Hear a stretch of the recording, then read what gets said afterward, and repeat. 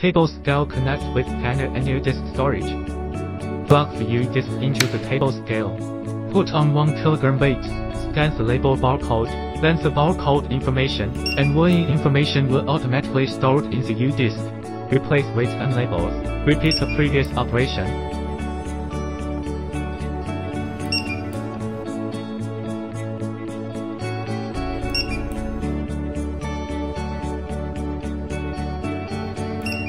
Remove the UDisk and read the data the UDisk IPC. The scan barcode information and weight data have been stored in the table.